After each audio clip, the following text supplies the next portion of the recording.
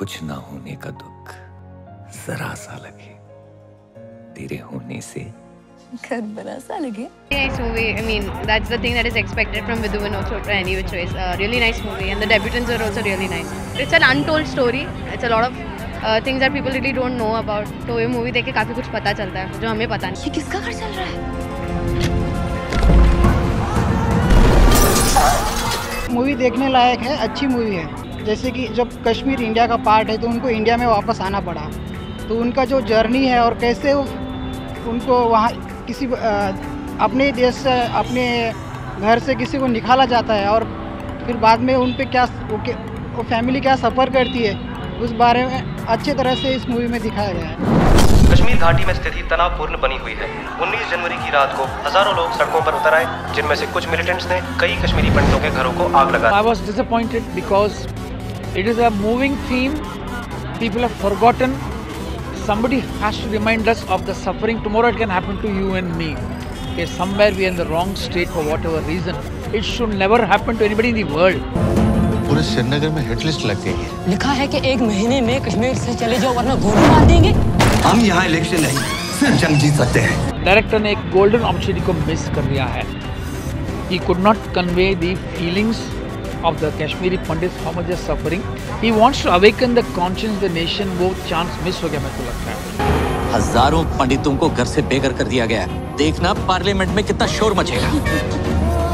वहाँ कश्मीर में इतना प्यारा घर है हमारा। ये गर्मी ना कश्मीर में दिखानी थी। वहाँ से तो भाग के आ गए आप लोग। They have acted very well fresh face चाहिए हमको। ये तो रेगुलर फेस आए तो इम्पैक्ट नहीं होगा। And I think this people may be from Kashmir and choice of action is good cinematography is excellent production values are good Kashmir के महानरमा मौत से नहीं डरते हैं? क्योंकि वो मुसलमान हैं।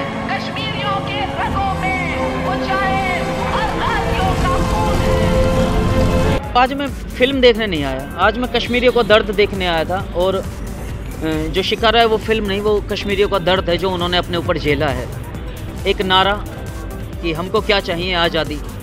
उस एक नारे ने मतलब न जाने कितने घरों को घर तबाह कर दिया।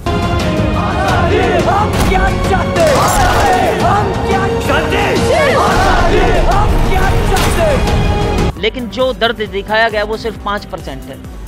95 परसेंट जो दर्द उन्होंने जिया है उसको तो दिखाया ही नहीं गया। फ़िल्म अच्छी है देखनी चाहिए। जब आप किसी की किसी चीज़ की रियलिटी दिखा रहे हैं तो उस चीज़ को भी दिखाना चाहिए, जो उस दर्द को उन्होंने झेला है। तीस साल से वो तंबुओं में रहे, और आज भी मेरे ख्याल में रह रहे हैं। परफॉर्मेंस बहुत अच्छी है, सादगी दिखाई है दोनों में, और मतलब हार्ट को टच करेगी। हम आएँगे वतन अपने वाजी साहब, और यहीं पे दिल लगाएँगे। यहीं मरेंगे, और यहीं के पानी में हमारी राख भाई जाएगी।